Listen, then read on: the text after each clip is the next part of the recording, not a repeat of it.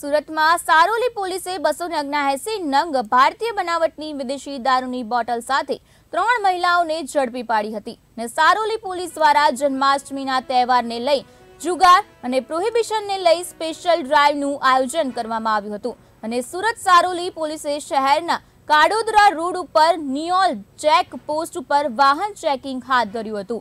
અને વાહન ચેકિંગ દરમિયાન પોલીસે ત્રણ મહિલાઓ પાસેથી વિદેશી દારૂની બસો ને અગ્નાએસી નંગ બોટલ ઝડપી પાડી હતી ને સારોલી પોલીસે પચીસ હજાર છસો રૂપિયાનો મુદ્દા માલ જપ્ત કરી ત્રણેય મહિલાઓ વિરુદ્ધ પ્રોહિબિશન હેઠળ ગુનો નોંધી આગળની કાર્યવાહી હાથ ધરી હતી.